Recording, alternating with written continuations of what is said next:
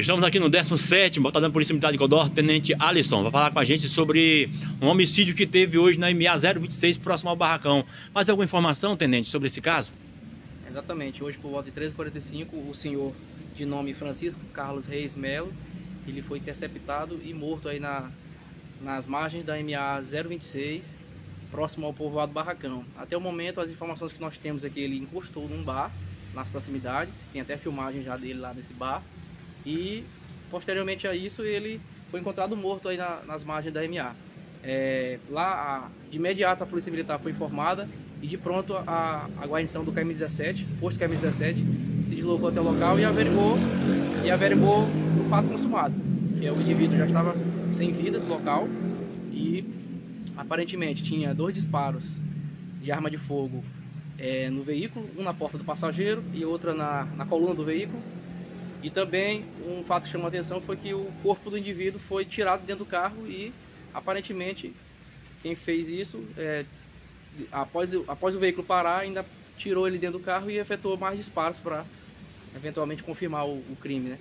E também o outro fato que chamou a atenção foi, foi os pertences da vítima não foram subtraídos, nenhum, nenhum pertence foi subtraído, subtraído. O carro não foi subtraído, foi encontrado com ele, o corpo da vítima 540 reais em espécie e um celular. Então, é, a hipótese de latrocínio é, parece não, não ser o caso aqui, né? E também é, foi a, a guarnição do KM-17 verificou que ele tinha cinco disparos no corpo dele e outro fato curioso é que aparentemente são calibres diferentes, o que leva a crer que podem ser dois criminosos, né? E mas aí quem vai confirmar é a perícia técnica da Polícia Civil. A Polícia Militar só averigou esse fato e foi encaminhado para a polícia técnica fazer a, a, a, perícia, né?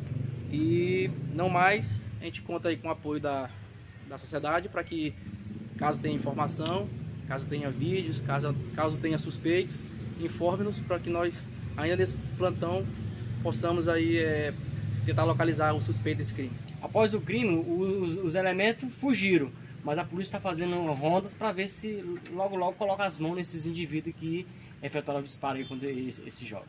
Exatamente. É, até o momento nós não temos suspeitos, né? Porque como foi região as margens da MA, não tem câmeras, não tem casa e provavelmente também não tem. Até agora não apareceram testemunhas, mas caso tenham, a gente pede aí para a sociedade em geral que relate para nós aí da Polícia Militar, da Polícia Civil, para que a gente aí em conjunto possa é, capturar os suspeitos ainda nesse plantão.